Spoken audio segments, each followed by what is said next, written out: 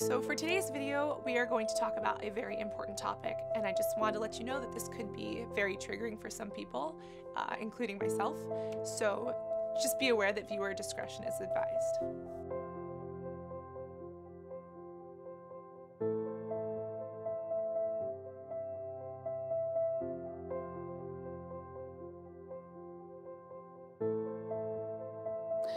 I was sold as a sex slave when I was five years old. I didn't really understand what sex was. I had been raped before by my dad, and then eventually at five, I was sold by my dad. But deep down inside, I think I knew something was wrong, and I was always, always, always afraid. Today I am here with Senator Capri Cafaro, and we are going to talk a little bit more about this issue, why it matters to us personally, and about the statistics, because as humans, this is our obligation to give a voice to the voiceless, and this is really happening in our backyard. How did you get involved with this cause? Why does this matter personally to you? And why is this such an epidemic that we need to address? Before I was in office, I was not you know aware that human trafficking was indeed an epidemic domestically one thing that i think that we really do need to work towards and, and one of the reasons why you know beauty for freedom i think is so wonderful is you know a lot of people don't realize as we were discussing that this is in our backyard that yes it is it is something that is uh, you know globally pervasive sex trafficking labor trafficking and the like. I was really really excited to join the organization as an ambassador because beauty for freedom is one of the most uh, you know i think forward thinking forward looking progressive organizations when it comes to both raising awareness um, regarding the basically slavery um, uh, and trafficking in, in persons and uh, making our these victims into survivors empowering them through through art um, and and giving them an outlet. At the end of the day we do need to make further investments in an actual treatment uh, to be able to get survivors um, where they need to be. As lawmakers and as citizens, what can we do? Because this is such a prevalent issue, but at the same time, just as one citizen, sometimes we feel hopeless in a lot so of true. these issues. To speak personally on my experience and my relation to this, Mm-hmm. which I've never really done before, I had a friend in high school who, you know, 16 years old, Yeah. wants to be loved, needs money. Right. She willingly put herself into a situation like that.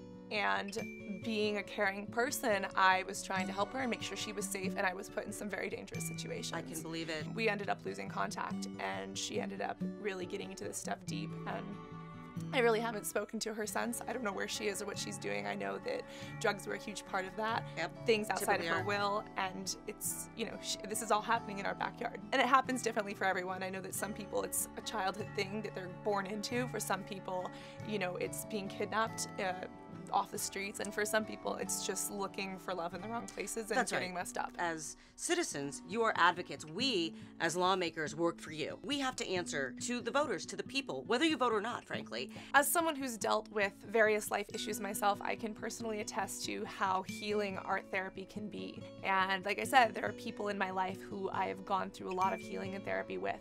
And using beauty and using art is extraordinarily transformative. Beauty for Freedom is a nonprofit organization that is aimed at helping survivors at abolishing this trafficking completely and providing resources, including therapy to those in need. And again, that reaches globally to places like India and Cambodia, as well as here domestically in the United States. I'm really honored. I'm actually going to be at BeautyCon with them. They have a I Want to Break Free campaign that you can support, you can donate, you can talk about. If you have a story to share, you can, or if there's someone else's story that impacts you. Again, it's about raising that awareness. It is our human obligation to give a voice to the voiceless. So whether that's helping to volunteer, making a monetary donation, speaking about what matters to you, sharing or retweeting something that means something to you, or just making that phone call when you see something suspicious.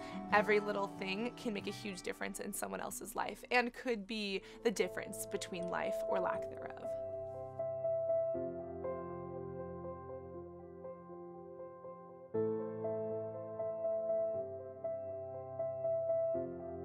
To those who don't know much about human trafficking or find it hard to understand, I think I would just say take the time to learn about it.